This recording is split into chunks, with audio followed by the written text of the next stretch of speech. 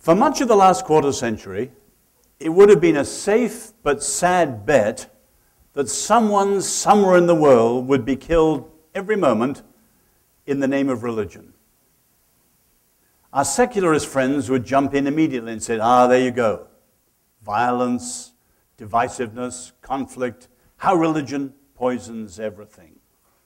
But of course, we know that more people were killed under secularist regimes in the 20th century than all the Western repressions put together.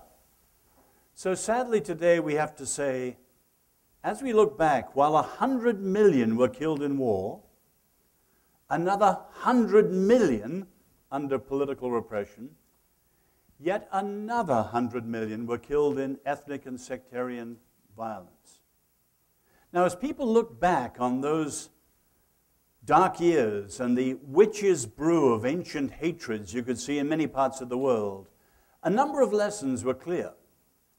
The first was living with our deep differences when those differences involve our ultimate beliefs, religious or secularist, is one of the world's great questions.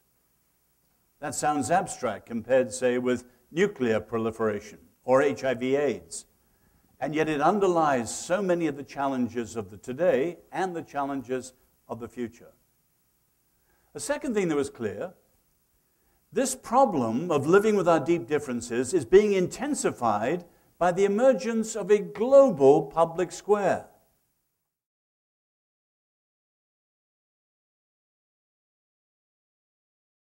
For more information about the Veritas Forum, including additional recordings and a calendar of upcoming events, please visit our website at veritas.org.